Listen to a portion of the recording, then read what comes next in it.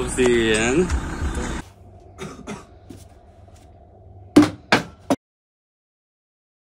Tas bija dalba obsesija. Ja pirmajā iet nedaudz, trešajā iet pizdzēts, tad sestajā pie šī propala saucās.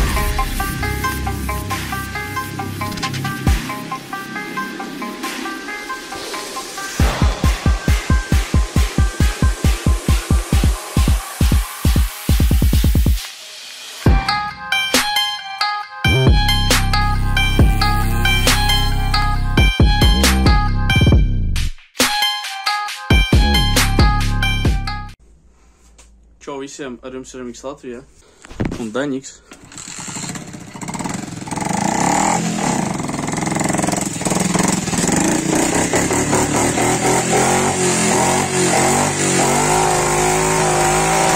Kāku jēl, bļēt, manu mopēdu!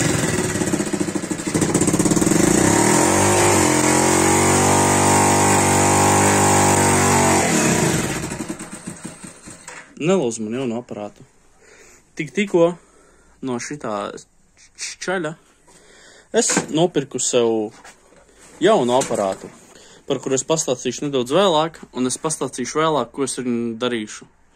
Tā kā tagad šitā tā. Tā jau rollers labs. Lēts iet. Pagaidies, tu tā. 70 eiro? Nē, nē, nē. Bļaļ. sarunājam, At, 150. atkal man jāpiš, bļaļ. В руки не беру. Lai labi kalpo. Kā ar pārakstīšanu? E, vēlāk. Tas vēlāk. Naudu neņems, es varu atstāt sev? Jā.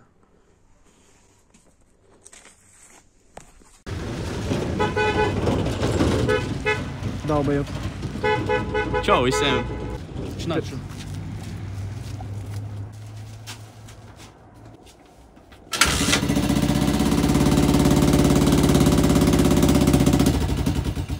Tā.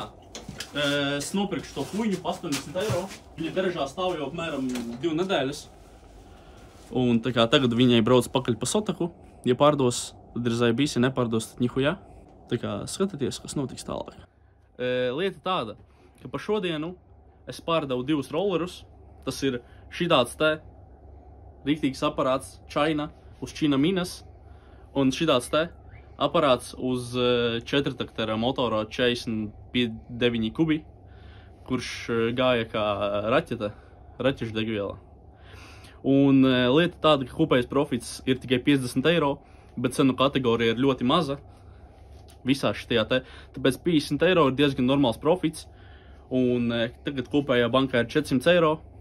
Un gaidat jaunos aparātus un jaunos video. Čainu mēs atdzīvināsim vakardien un nekad. Tad, kad ģeletņahuji būs. Tā kā tagad ar jums bija Miks Latvijā. Atā.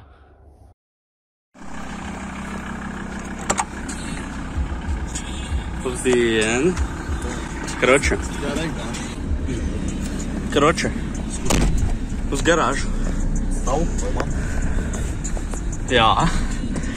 Lieta tāda, ka tikko, labi, ne tikko, bet no rīta man uzrakstīja čoms un paprasīja, vai es negribu savākt viņu rolleri par 270 eiro. Tā kā tagad jau ir vakars, es sarunāju Edžo, nu vai ģilu ģiko, un mēs braucam. Jā, kravu pārvadājumu punkts LV, un mēs braucam pakaļ rollerim. Tā kā tūlīt mēs iebraucam uh, garažā, izkraujam ierā sēdekļus, ja? Vai ko mēs darām? Stīlītis tur nekraut. Ā, viņus grūti izkraut? Es nezinu, es neesmu sēms. Nu, pohuj, tāpat braucam uz garāžu. Po prikolu. Kročē, un sanāk, jā, un mēs braucam pakaļ rollerim, un tad es ar viņu raušu ratā, un es esā ielikšu. Tā kā e, biznes, e, geju huņa, nepis neiet, tāpēc, e, tāpēc mēs braucam uz garāžu. Eju, nu, mēs esam garažās. Bet lieta tāda, ka mēs neesam garažās tukšumā, pareizi. Jā, Mēs esam pilnumā. filmās. Tūlīt. Woo! Ups. Kroče, tā ir Aprilia Rally 2006. Nē, man liekas, 97. gada. Kročē. Wow! Kročē, jūs pateiksiet, izstāst pēc hujāta. Un es īstenībā nevaru nepiekrist. Pareizi. Kāds pizdī garāžu. Uh, minārs, garais, desmit ripuļi.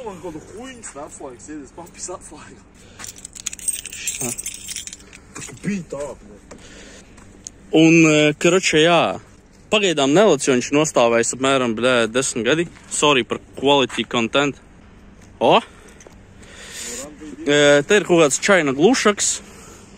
It kā viss, liekas, pīsne kubi. Nu, kurš ir tāds parasts aparāts pa 270 eiro normāli.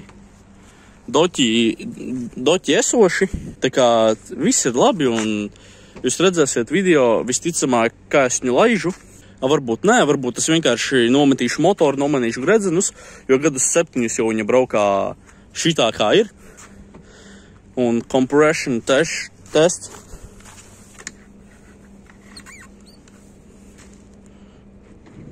Mīnus kurbuls. Kroči, ķipa, jā, strādā elektrostarters. Nosēdies acis.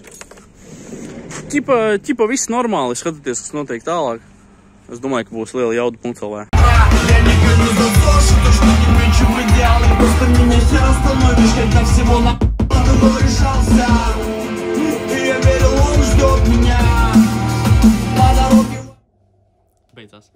Kroči, lieta tāda. Filmā taisam.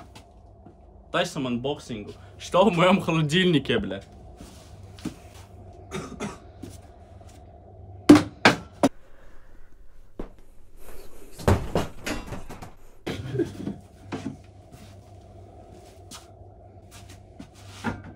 Trīs eiro 12 centi, bля, нихуя себе.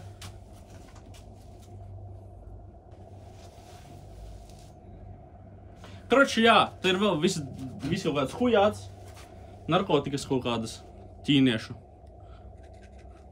Tā kā tagad mēs uh, jaucam ārā apriliju, beigas piseks un pie karbe tik piseks, kroči, tāpēc, ka aprilijā.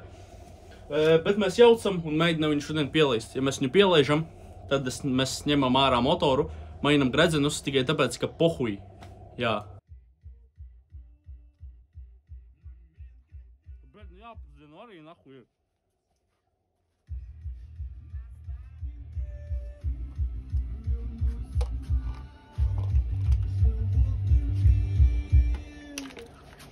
по дороге Так хотел добраться И приземлиться в твой туман Но пока дождался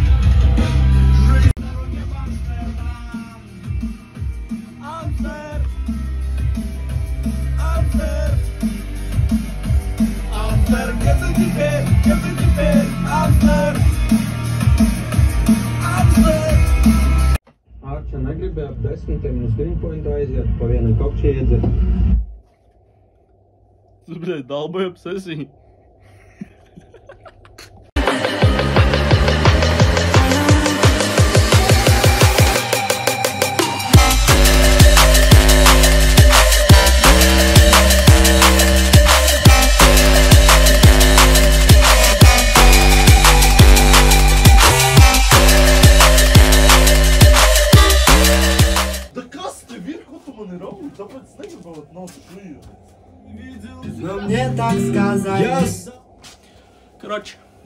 Lieta tāda, ka es viņu kurbulēju apmēram 20 minūtes.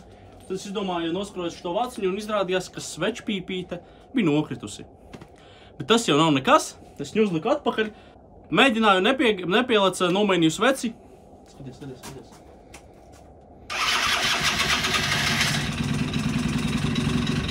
Tas bija ilgi jau. Našu. Lieta tāda, ka vakuma štucers nedaudz neturās.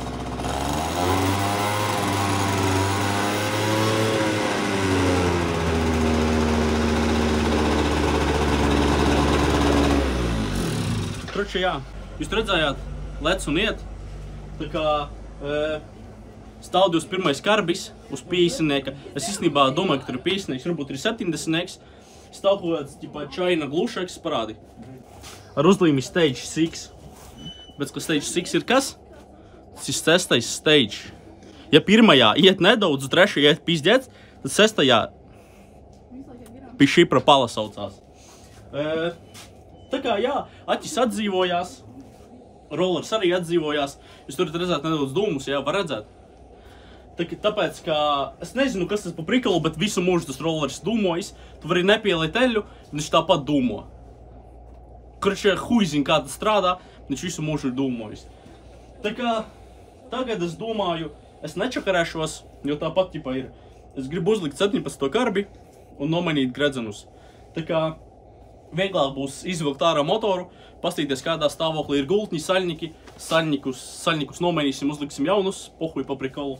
Tā kā, jā, es domāju, ar, šī, ar šo kadru video beidzas. Pareizi. Tā kā, te ir mans jaunais Project Car Check, un Čaina arī dzīvos. Tā kā nopietni dzīvos. Un tā kā ar jums bija Miks Latvija, Čapīs, Edžons, Atā. Мерседес, иди нахуй! Check engine, блядь. Я тебя не вижу, блядь. Nē, klausies, plāni. Uzliksim derku, ja? multivaru, repliku. Un trošu ar tā, pareizi. Es ar tā domāju.